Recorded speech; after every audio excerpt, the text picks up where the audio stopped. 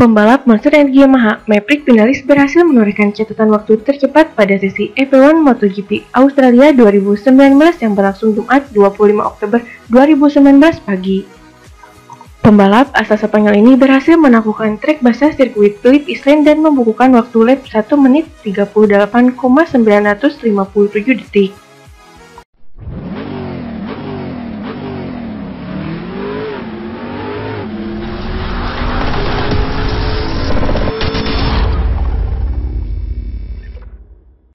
Hujan deras menyelimuti sesi latihan bebas pertama MotoGP Australia di sirkuit Phillip Island.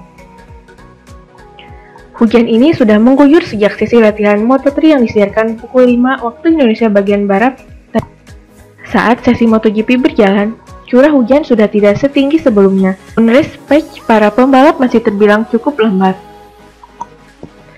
Pembalap Monster Energy Yamaha, MotoGP, Maverick Vinales dan Valentino Rossi, juga Petronas Yamaha SFC, Franco Morbidelli dan Fabio Quartararo cukup mendominasi F1 MotoGP Australia dimulai. Para pembesut Yamaha WGR M1 ini terus mengisi posisi lima besar dengan kisaran waktu 1 menit 39 detik. Untuk lintasan yang basah, Yamaha masih cukup diunggulkan di sirkuit Phillip Island ini. Maverick Vinales cukup lama menjadi yang tercepat catatan waktu 1.38,958 detik yang ia dapatkan belum ada yang mengalahkan sampai F1 MotoGP Australia menyisakan waktu 4 menit. Pembalap tuan rumah Jack Miller dari Pramac Racing pun punya ritme balap yang bagus. Bukan hanya kali ini, dalam beberapa seri, Jack Miller juga menjadi pembalap Ducati tercepat dalam memperoleh catatan waktu. Ia sempat mencatatkan hot lap, namun melebar di sektor terakhir sirkuit Phillip Island. Karena itu, Jack Miller harus puas menempati peringkat kedua dengan jarak 0,143 detik dari Maverick Vinales.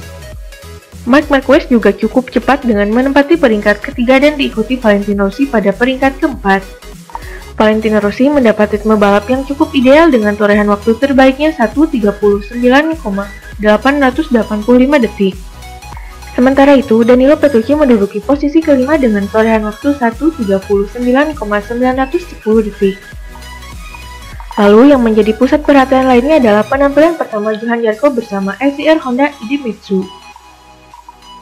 Bukan kondisi yang diharapkan Johan Jarko dalam adaptasi pertamanya di atas Honda RC 213P.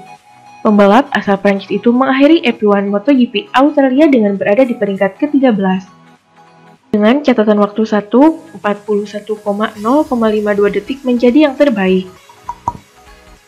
Namun hasil itu cukup bagus bagi debutnya dengan Honda dan dengan kondisi cuaca yang buruk. Nah, itu saja berita MotoGP untuk hari ini. Jangan lupa tonton juga video terbaru dari kami yang ada di sebelah kiri Anda atau video populer di sebelah kanan Anda, yang pastinya sayang banget untuk dilewatkan. Agar tak ketinggalan berita terupdate dari dunia MotoGP, dukung terus channel ini dengan cara like, share, dan subscribe. Sampai jumpa!